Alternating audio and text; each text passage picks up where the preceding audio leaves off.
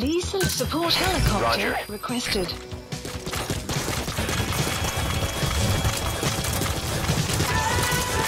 Extraction arrived at Mother